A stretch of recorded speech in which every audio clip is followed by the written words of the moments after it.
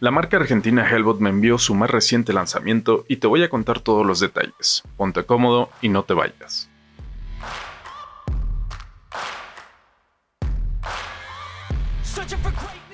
Hola a todos, yo soy Elias Ruiz y el día de hoy les voy a mostrar esta impresora de la marca argentina Hellbot.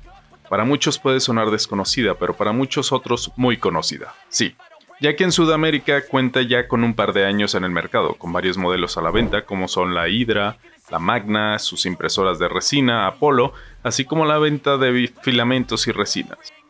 Como parte de su expansión están por entrar a México y a varias partes de Latinoamérica, y el equipo de Hellbot me mandó esta impresora. Sí, su nuevo lanzamiento, la Magna SE. Así es que vamos con el unboxing.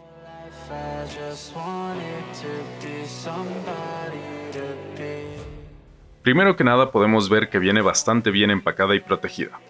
Encontraremos una pequeña caja donde nos incluyen los accesorios como son cables de alimentación, de conectividad vía PC, una tarjeta mini SD con adaptador USB, pinzas, espátula, limpia boquillas y boquilla de repuesto, así como toda su tornillería y herramientas.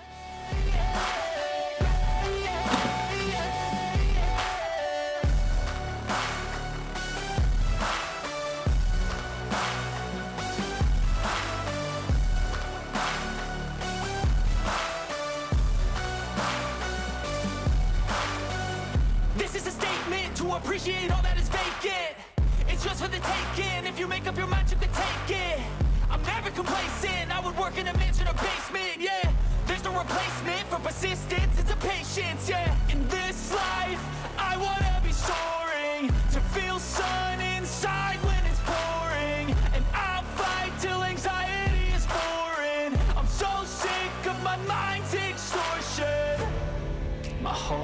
life I just wanted someone who would notice me.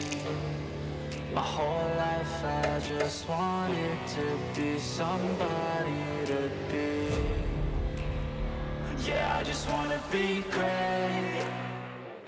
Cuenta con extrusión directa y un volumen de impresión de 230 x 230 x 250 centímetros en Z, ideal para todas las necesidades de impresión hoy en día.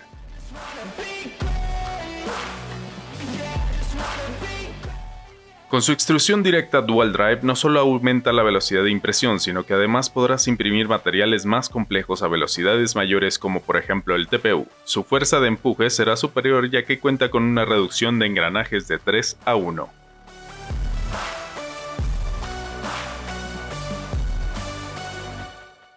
Además cuenta con sensor de corte de filamentos, sensor para recuperar tu impresión ante un corte de energía que hoy en día esto es algo súper importante y a tomar en cuenta en la compra de una impresora 3D. Tiene una pantalla color táctil y bastante intuitiva y además con idioma en español integrado de serie.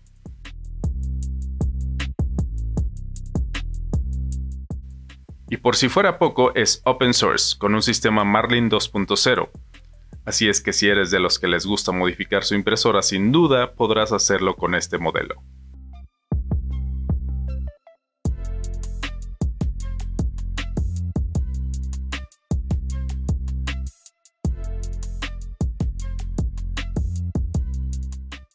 La impresora es bastante silenciosa, aunque si escucharás un ligero ruido de sus ventiladores, pero incorpora sus drivers TMC2208, que como ya sabemos son bastante silenciosos y podrás tenerla en cualquier espacio de trabajo sin que interrumpa tus otras actividades.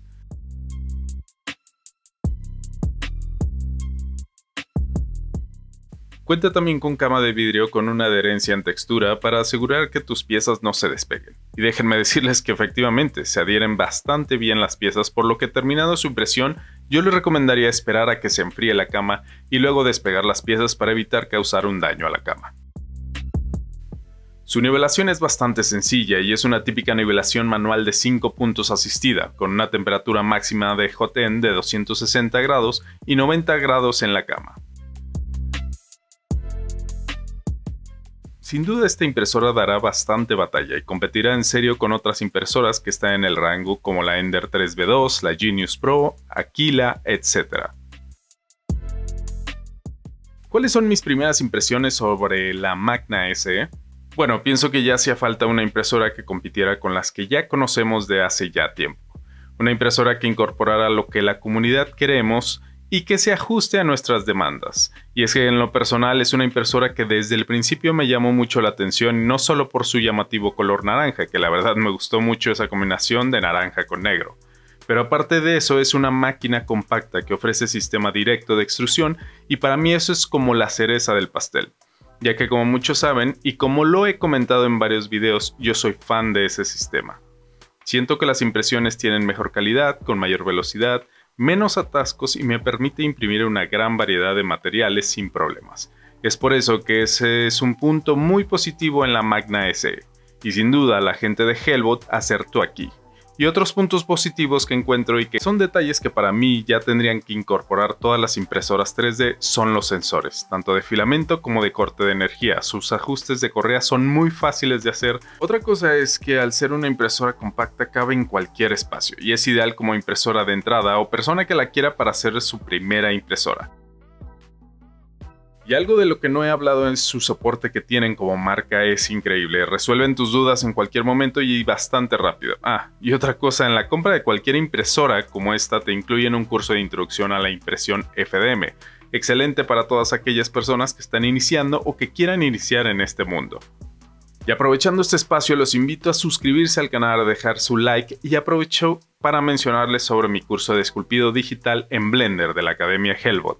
Les dejo el enlace en la descripción y recuerden que con el cupón NOMANA van a recibir un 10% de descuento en su compra. Es un curso de más de dos horas donde les enseño las herramientas básicas para crear un personaje de manera orgánica. Y bueno, después de ese comercial, los dejo con estas tomas de las impresiones hechas con la Magna SE.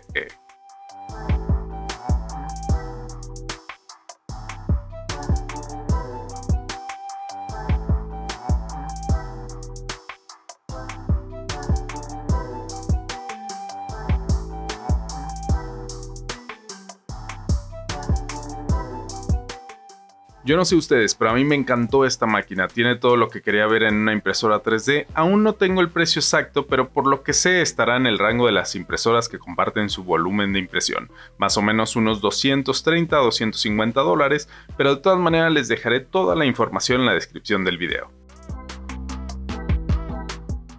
Espero que les haya gustado este video y recordarles que si aún no se han suscrito los invito a hacerlo y dejen su like si les ha gustado el video nos vemos en un próximo video yo soy Elías, les deseo excelentes impresiones y adiós.